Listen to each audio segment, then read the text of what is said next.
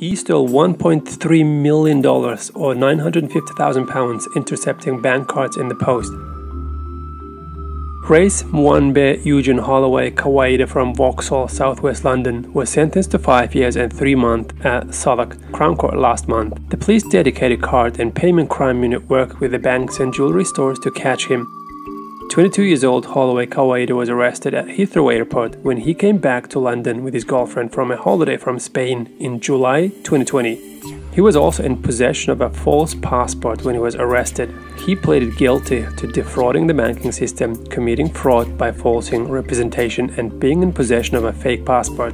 What was his crime? He stole upwards of £950,000, it's $1.3 million, by harvesting the bank details of his victims and ordering them new cards. The victims never knew their card details were stolen as he intercepted the cards in the post. He then would go on spending sprees. He was, in fact, wearing £80,000 worth of jewellery when he was arrested.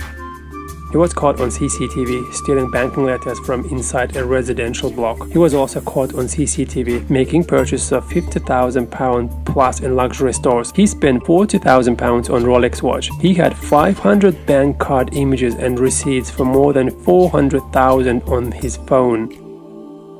He committed these crimes between February 2019 and July 2020. Not everybody was sleeping during lockdown.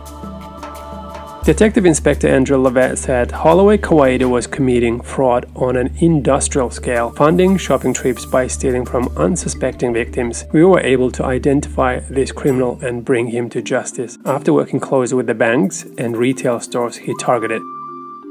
That's about it. Please comment, like, share. Till next time, bye.